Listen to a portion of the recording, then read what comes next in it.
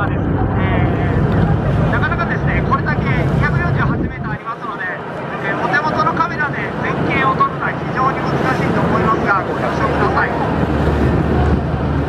えー、先ほど、え説明させていただきましたが加賀と出雲の一番の違いシャッターです、え現在右、え横を回っていたんですがこの鉄の板が、え出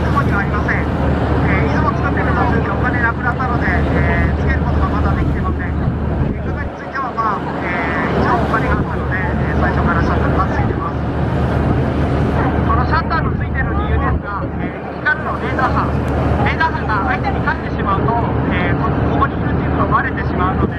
それをなるべく減らすために、